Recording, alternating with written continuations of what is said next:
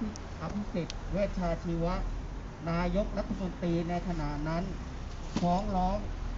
ในคดีความมาตรา112 กล่าวหาว่าอากงส่ง SMS มาให้เขา มีข้อความดูหมิ่นกล่าวร้ายกษัตริย์ ถึงแม้อากงซึ่งขณะนั้นมีอายุ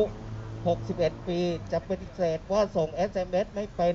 อีกทั้งหมายเลข IMEI ของโทรศัพท์ที่ส่ง SMS กับโทรศัพท์ของอากง ก็ไม่ได้ตรงกันทุกตัว แต่สุดท้ายผู้พิพากษาชนาทิพย์เหมือนพวง ก็ยังตัดสินลงโทษอากงเป็นเวลา 20 ปี อากงติดคุกเพียงไม่นานก็เสียชีวิต ในเรือนจำด้วยโรคมะเร็งตับ นับแต่วันที่ 3 สิงหาคม 2553 ตำรวจเข้าจับกลุ่มอากงโดยขัง อากงถูกฝากขังรอบแรกเป็นเวลา 63 วัน โดยไม่ได้รับการประกันตัว แม้ต่อมาจะได้รับการประกันตัวช่วงสั้นๆ แต่เมื่อวันอายการสั่งฟ้องคดีเมื่อวันที่ 18 มกราคม 2554 และไม่อนุญาตให้ประกันตัวอีกเลย จนถึงวันที่อากงเสียชีวิต รวมเวลา 1 ปี 3 เดือน 22 วัน มีการยื่นคำขอประกันตัว4ครั้ง ยื่นอุทธรณ์คำสั่งให้ประกันตัว3ครั้ง ยื่นดีกาคำสั่งให้ประกันตัว1ครั้ง แต่ศาลไม่เคยให้สิทธิการประกันตัวด้วยเหตุผลว่า พฤติการแห่งคดีเป็นเรื่องร้ายแรงและกระทบความรู้สึกของปวงชนชาวไทย หากให้จำเลยปล่อยตัวชั่วคราวเกรงว่าจะหลบหนี แม้คดีจะยังอยู่ในระหว่างการพิจารณายังไม่มีคำพิพากษาเกิดขึ้น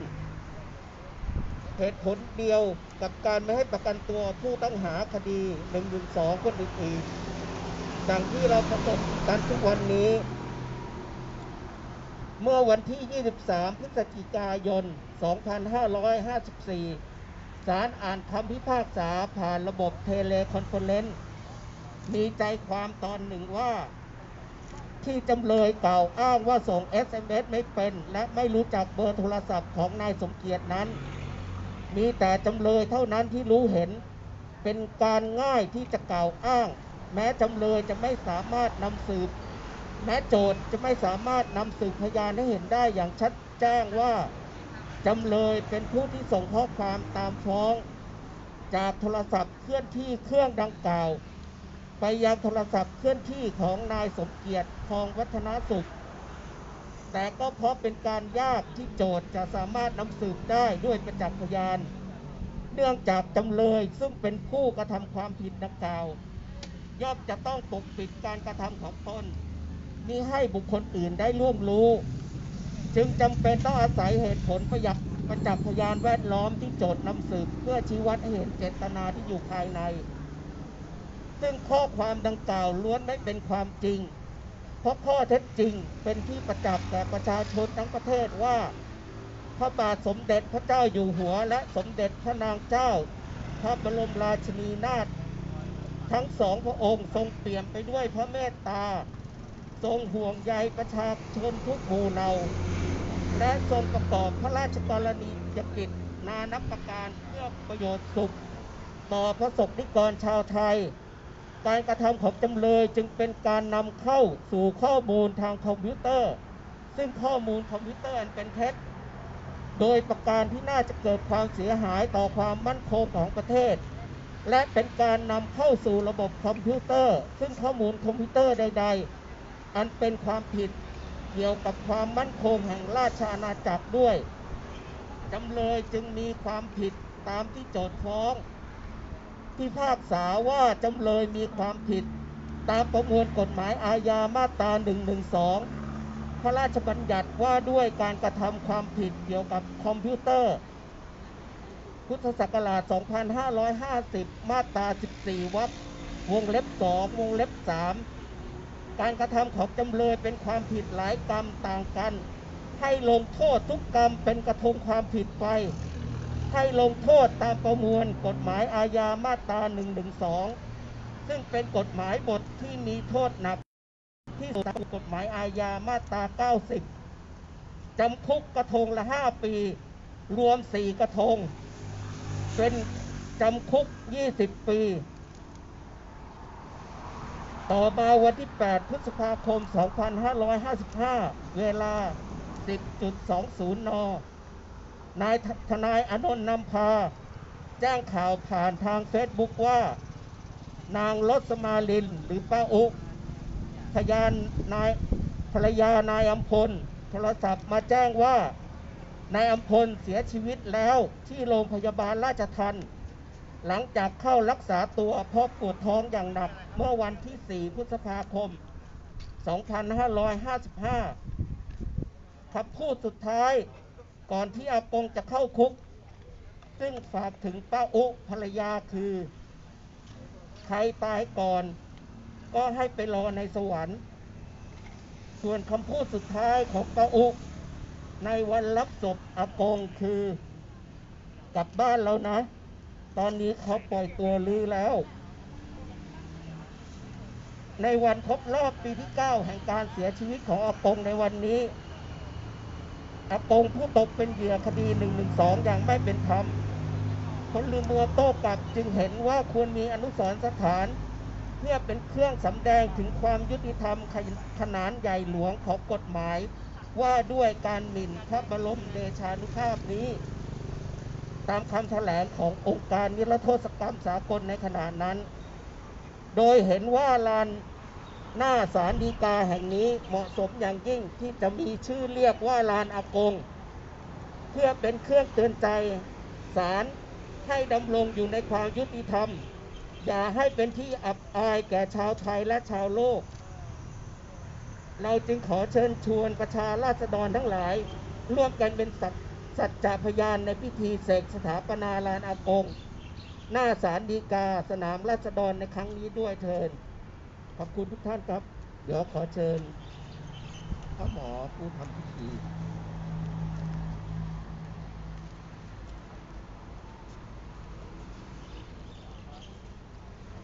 ผมหมอให้หวยนะครับผมหมอผมหมอให้หวยแล้วนะครับ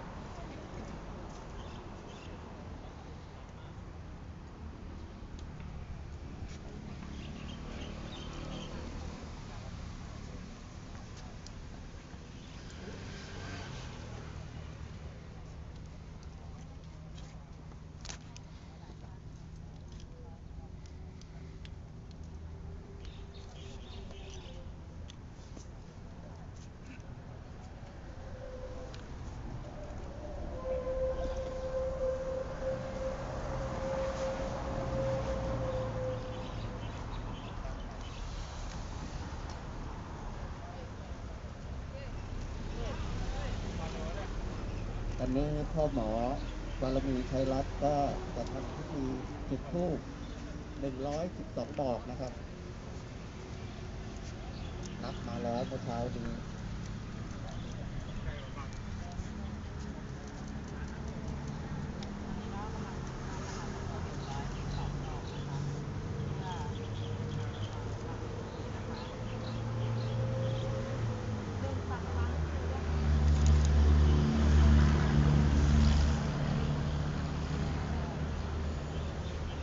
ไม้ไปนู้นเนี่ย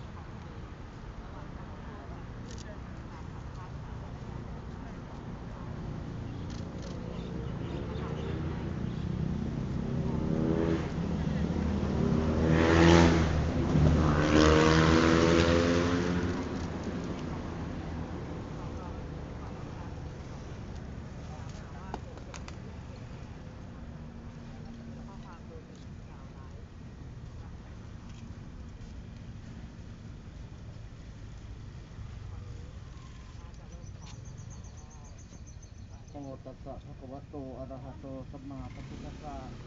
นะโมตัสสะภะคะวะโตอะระหะโตสัมมาสัมพุทธัสสะนะโมตัสสะภะคะวะโตอะระหะโตสัมมาสัมพุทธัสสะสัพเพกาเมจรูปเปกิติติคารตเตจันทริเขวิมานเนทีเตระเทตคาเมตรวนาคาเนเทหวัตถิเสเต บุมมาเตยตุเทวาทราทราวิจเตยคคันทัพตนาคาติสันตาสันติเกยังโมตุวาราราชนะสาขโวมมันโตอุกาสาอุกาสาสุราภูเทพยุดาเจ้าทั้งหลายเบื้องบนอันดีชกามาพจรตั้งแต่จตุมหาราชิกาถึงปรมินิมัตสวัสดี อีกทั้งภูมิเทวดา อากาศเทวดา อารักษเทวดามเหสักเทวา ผู้รับเมือง ผู้เชื่อเมือง ผู้ทรงเมือง อีกทั้งหมู่เทพยุดาในทวีปใหญ่น้อย ทั้งในบ้าน ในนคร ในเหวห้วย ในลาวเขา และลาวป่าขอจงมาเป็นสักขีพยาน และอภิบาลแก่เราบูรษฎร เพื่อชุมนุมประโมสรในการจัดตั้งลานอากงณสถานที่นี้ต่อเถิดต่อข้าเธอ ปริตาปฏิกมันตุภูตานิโสนังโสหังนโมภะคะวะโตนโมตัสสะนังนโมตัมพุทธานัง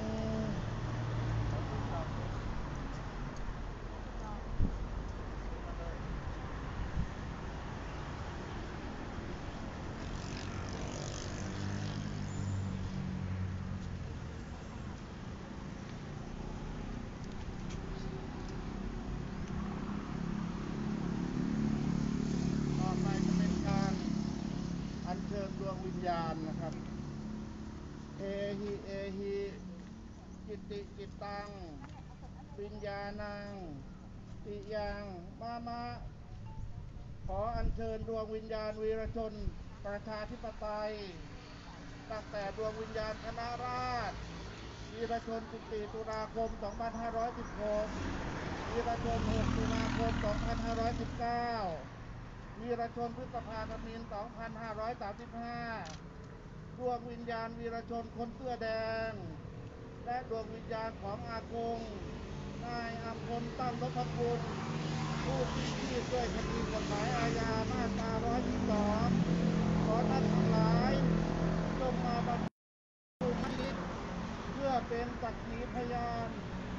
ช่วยชมทั่วกันหน้าบัดนี้เถอ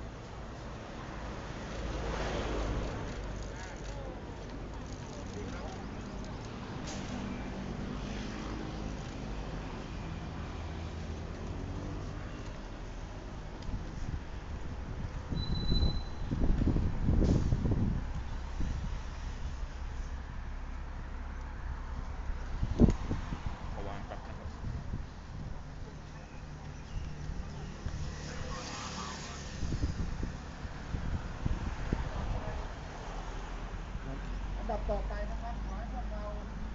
กล่าวตามผมนะครับเราบูเทวดา และดวงวิญญาณวีรชนทั้งหลาย จงสดับรับรู้ ด้วยฟ้าเป็นสักขี ด้วยดินเป็นพยานอีมัง ปัจจาวาจัง อธิษฐานนี้ อันว่ามันผู้ใด ผู้ถือใช้กฎหมายใด ผู้ถือใช้กฎหมายใด อ อันเป็นไปเพื่อการกดขี่บีทา ถ้าเป็นไปด้วยการกดขี่อีทามีบังคับราษฎรมีบังคับราษฎรด้วยความอายุติธรรมด้วยความอายุติธรรมขอให้มันดูนั้นจงวิบัติชิบหายจงวิบัติชิบหายทั้งผู้น้อยผู้ใหญ่ทั้งผู้น้อยผู้ใหญ่ ให้ทั่วทั่วหน้าให้ทั่วทั่วหน้าทั้งโคตรวงทั้งโคตรวง ขอจงเสื่อมยศ ขอจงเสื่อมยศ เสื่อมลาภ เสื่อมลาภ เสื่อมทรัพย์ เสื่อมทรัพย์ เสื่อมฐานนันดร เสื่อมฐานนันดร เสื่อมบารมี เสื่อมบารมี หาความสวัสดีมิได้ หาความสวัสดีมิได้ และหากผู้ใด และหากผู้ใด ลงไว้ซึ่งความยุติธรรม ลงไว้ซึ่งความยุติธรรม เป็นไปเพื่อประโยชน์ เป็นไปเพื่อประโยชน์ ของราษฎร ของราษฎร ให้ผู้นั้น ให้ผู้นั้น มีแต่เจริญสุข มีแต่เจริญสุข ทุกทิวาราตรีทุกทิวาราตรีด้วยเถิดด้วยเถิดด้วยสัจจวาจา ด้วยสัจจวาจาผู้ราษฎรผู้ราษฎร ขอสักดินาจงพินาศขอสักดินาจงพินาศประชาราชจงเจริญประชาราชจงเจริญ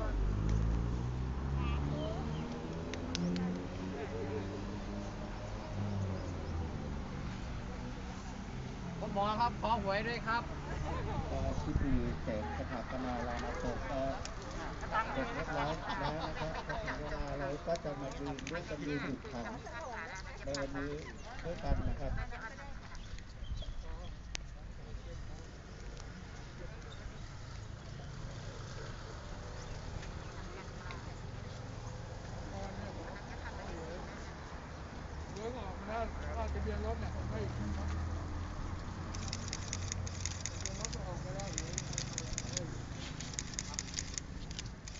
ศักดินาจงพินาศ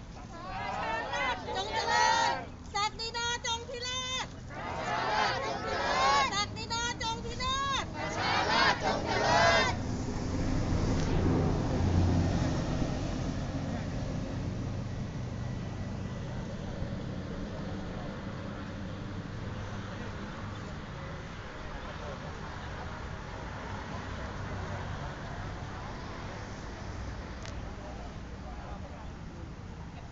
สำหรับคน ที่ลงทะเบียนเชิญด้านนี้เลยนะคะคนที่ลงทะเบียนหน้าเพจไว้เชิญด้านนี้เลยนะคะ สวัสดีครับสำหรับผู้ติดตามเอ่อการไลฟ์สดของประชาไทย วันนี้ประชาไทยมาไลฟ์กิจกรรมลำลึกของเอ่ออากงหรือคุณอัมพลตั้งนพกุล ที่ครบรอบการเสียชีวิต 9 ปีของเขาในวันนี้อะครับ ก็คือคุณอำพลเนี่ยเขาเป็น อดีตผู้ที่ถูกดำเนินคดีด้วยมาตรา112 การถูกกล่าวหาว่าส่ง message SMS สมัยสมัยนั้นนะครับ เป็นยังเป็น SMS อยู่ก็คือเป็นโทรศัพท์กดๆแบบโทรศัพท์รุ่นเก่าครับ ยังไม่ใช่สมาร์ทโฟน ก็คือมีการส่ง SMS ไปที่เอ่อเครื่องของเลขาของคุณอภิสิทธิ์ เวชชาชีวะที่ในเวลานั้นเนี่ยเป็นนายกรัฐมนตรีอยู่ คือคดีนี้เนี่ยมันเริ่มตั้งแต่ตอนประมาณปี 2554 แล้วก็มีการฟ้องเป็นคดีตอนเดี๋ยวนะครับ ผมจดไว้เอ่อมีการฟ้องคดีวันที่ 19 มกรา54 แล้วก็เอ่อ ตัวของคุณอมพลเนี่ยก็คือถูกคดีเริ่ม 53 แล้วก็มีการฟ้องปี 54 แต่ว่าไอตอนที่ชั้นสอบสวนเนี่ยมีการขอประกัน ซึ่งก็ได้ประกันอยู่แต่ว่าเมื่อคดีมีการฟ้องสู่ศาลแล้วเนี่ยก็เขาก็ถูกขังระหว่างพิจารณาคดีก็ถ้าจะเทียบกันก็คล้ายๆ กลุ่มที่นักกิจกรรมในเวลานี้ที่มีการถูกตั้งข้อหาด้วยมาตรา1นึแล้วก็มีการฟ้องคดี แล้วแล้วก็ไปถูกขังในชั้นพิจารณาคดีระหว่าง ก็คือก่อนที่จะมีการต่อสู้คดีเนี่ย ก็ถูกขังแล้วครับเออแล้วคดีของคุณอัมพลเนี่ยก็คือศาลชั้นต้นพิพากษาตอนปีตอนพฤศจิกายนปี 54 ซึ่งศาลก็คือตามที่คุณพันศักดิ์ศรีเทพเมื่อกี้ที่เป็นกลุ่มพลเมืองโต้กลับเขา กล่าวถึงนั่นแหละครับว่ามีสารพิพากษาลงโทษจำคุกไป 5 ปี เอ้ยกรรมละ 5 ปี รวม 4 กรรมเป็น 20 ปีนะครับ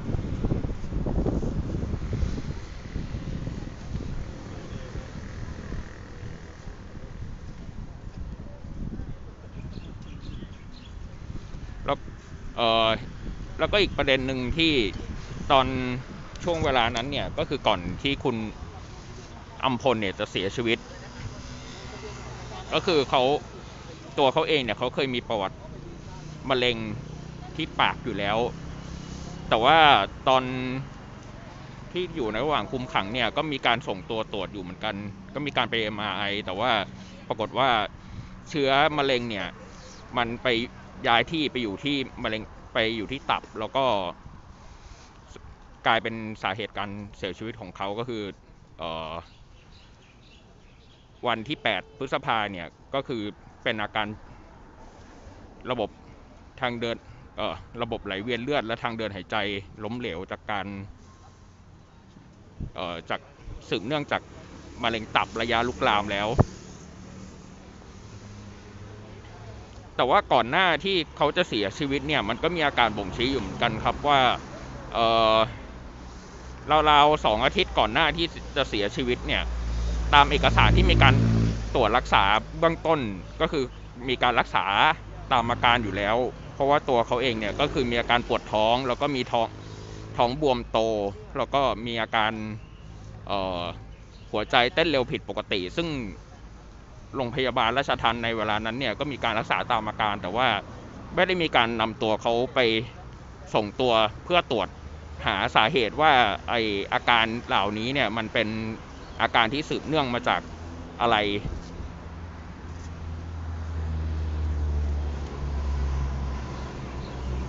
ซึ่งออพอพอจนถึงวัน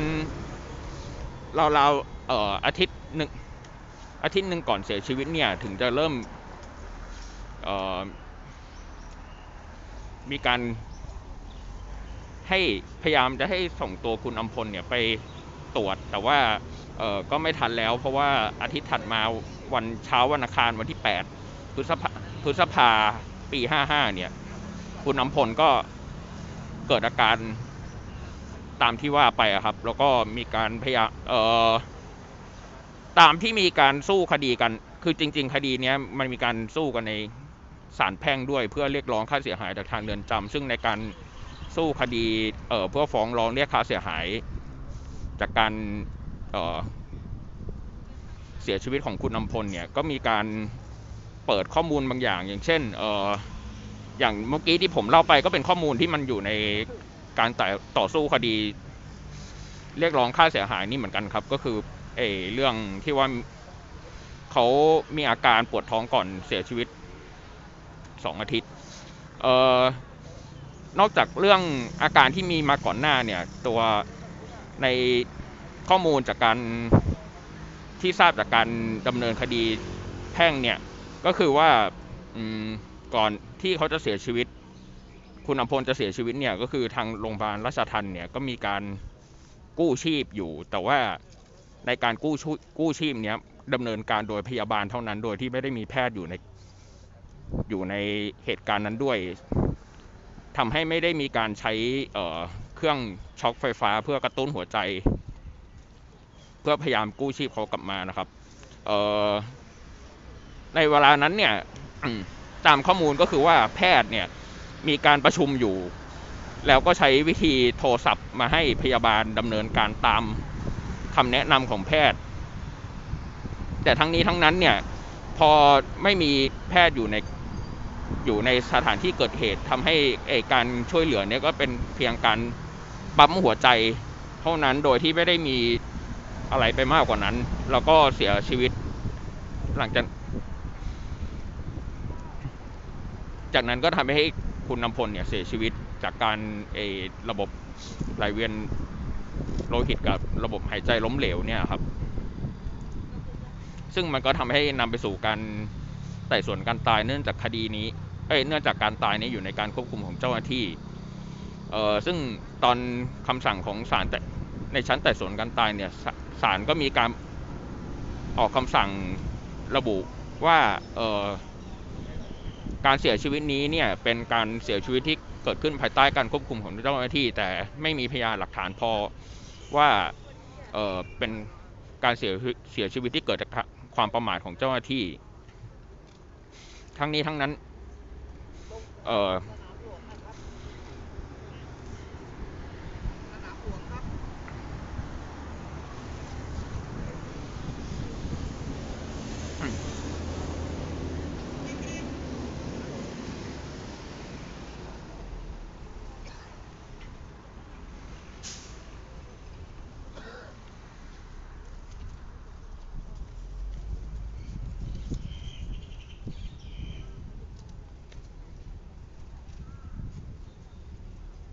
ซึ่งจากไอคำสั่งศาลครั้งนั้นเนี่ยมันทำให้มีการฟ้องคดีแพ่งตามที่ผมเล่าไปเมื่อสักครู่เนี้ยต่อมา ซึ่งไอระหว่างต่อสู้คดีเนี่ยก็มีการแสดงพยานหลักฐาน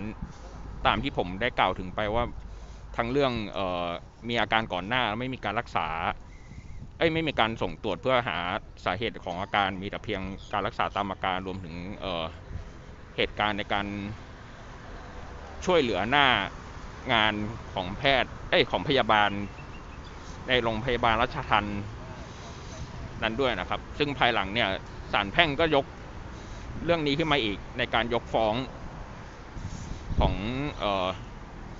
ยกฟ้องคดีเรียกค่าเสียหาย นี้ด้วยเช่นกันก็คือว่าศาลก็ยกเหตุผลเรื่องว่าแพทย์ได้ทำตาม แพทย์ได้ใช้ดุลพินิษแล้ว และมีการได้ทำตามความสามารถอย่างเต็มที่แล้วนะครับ ซึ่งทำให้เอการยกฟ้องครั้งนั้นเนี่ยทำให้สุดท้ายแล้วก็ทำให้ไม่ได้มีการทางครอบครัวเนี่ยไม่ได้รับค่าเสียหายอะไรจากการเสียชีวิตครั้งนั้นของคุณอัมพล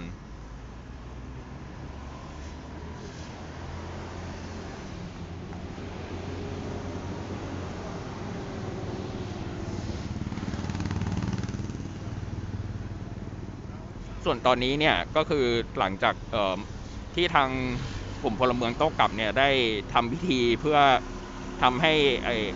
เพื่อทำให้ลานหน้าศาลเนี่ยเป็นลานเพื่อที่จะใช้ล้ำลึกถึงการเสียชีวิตของอากงและแสดงถึงความเม็ดการที่อากงเนี่ยไม่ได้รับความยุติธรรมเสร็จแล้วเนี่ยเขาก็ทำกิจกรรมยืนหยุดหยุดยืนหยุดขังเพื่อเรียกร้องให้ปล่อยตัวนักกิจกรรม ที่ถูกดำเนินคดีทางการเมือง ที่ในขณะนี้ก็ยังคงมีอยู่นะครับ เพราะยังยังมีบางคนเนี่ยที่ยังไม่ได้สิทธิ์ประกันแม้ว่าในช่วงสัปดาห์ที่ผ่านมาเนี่ยก็จะมีแล้วอย่างน้อยเอ่อสามคนซึ่งมีคนหนึ่งได้ประกันในเช้าวันนี้ด้วย ก็คือที่ผ่านมาอาทิตย์ที่ผ่านมาเนี่ยก็มีลุงปนัสยา แล้วก็เมื่อวานนี้ก็มีตี้พยาวตี้วันวลีนะครับ ที่ได้ประกันจากศาลธนบุรี แล้วก็วันนี้ก็มีคดีของคุณฟ้าพรมสอนที่ก็ได้ประกันด้วยเช่นกัน เป็นคดีในศาลธัญบุรี ทั้งนี้เนี่ยทั้งสามคนที่ได้ประกันตัวออกมาเนี่ยก็ไม่ใช่ว่าได้ประกันออกมาโดยไม่มีเงื่อนไข แต่ว่าศาลได้ตั้งเงื่อนไขว่าหลังจากออกมาจากการ หลังจากได้รับการปล่อยตัวชั่วคราวระหว่างพิจารณาคดีเนี่ยก็จะต้องเอ่อทำตามเงื่อนไขด้วยก็คือเอ่อจะต้องไม่ทำกระทำการใดที่ทำให้สถาบันกษัตริย์เสื่อมเสียห้ามเดินทางออกนอกประเทศ แล้วก็ต้องมาตามนัดของศาล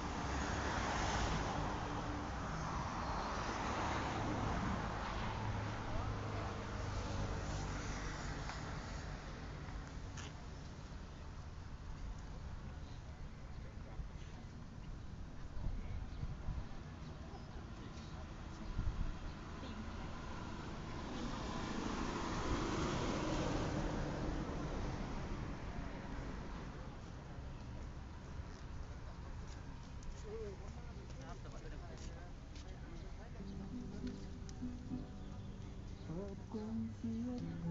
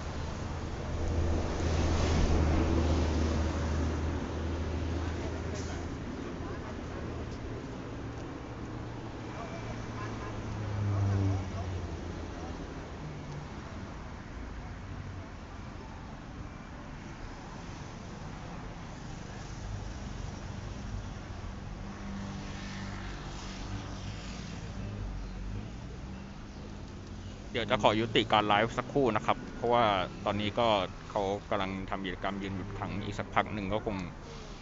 เอ่ออีกชั่วโมงกว่าๆก็ถึงจะเสร็จสิ้นกิจกรรมตามเวลาที่เขาแจ้งเอาไว้ ก็เดี๋ยวรอเมื่อมีเหตุการณ์อะไรเดี๋ยวจะกลับมาไลฟ์อีกทีครับ